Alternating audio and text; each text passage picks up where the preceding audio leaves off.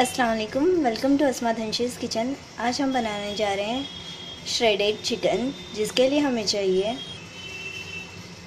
boneless chicken 300 gram black pepper powder half teaspoon salt as required ginger garlic paste one teaspoon water one cup method सबसे पहले एक कढ़ाई में एक cup पानी डाल दें। फिर उसमें बोनलेस चिकन के pieces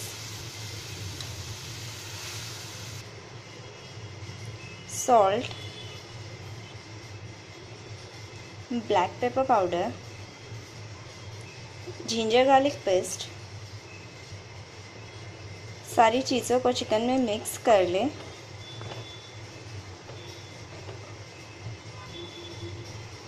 अब इस चिकन को दो मिनट के लिए कवर करके रखेंगे ताकि चिकन भाप में अच्छे से पक जाए। चिकन को दो मिनट मीडियम फ्लेम पर कवर करके पकने के लिए छोड़ देंगे। चिकन से कवर हटा लेंगे। मिक्स कर लेंगे और चिकन के पीसेस को पलट देंगे ताकि चिकन दूसरी तरफ़ से भी पक जाए। चिकन 50 परसेंट पक चुका है। अब हम इसे इसी तरह मीडियम फ्लेम पर और 10 से 12 मिनट पकाएँगे ताकि चिकन अच्छे से गल जाए और अच्छे से श्रेड हो जाए।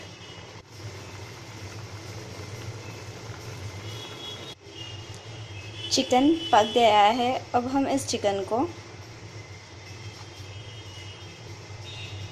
डिश में निकाल देंगे।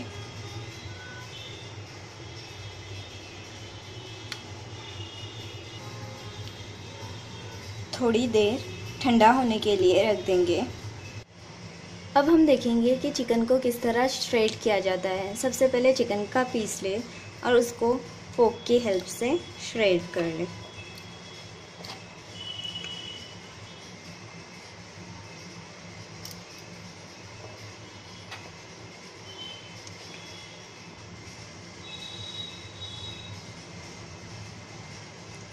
इसी तरह सारे पीसेस श्रेड कर लें। अब हम देखेंगे चिकन श्रेड करने का दूसरा मेथड चिकन ले, उसको हाथ की हेल्प से श्रेड कर ले।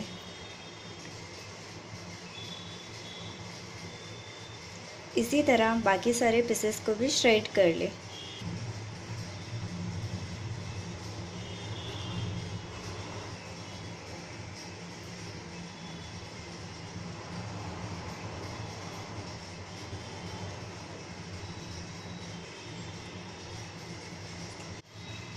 श्रेडेड चिकन रेडी है। हम इस श्रेडेड चिकन को कबाब कटलेट रोल या चिकन पफ चिकन वेंस बनाने के लिए यूज़ करेंगे।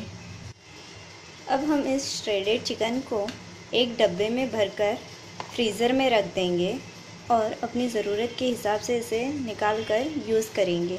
अगर आपको हमारी ये रेसिपी पसंद आती है तो प्लीज़ लाइक करें और सब्सक्राइब करें हमारा चैनल थैंक यू अल्लाह हाफिज़।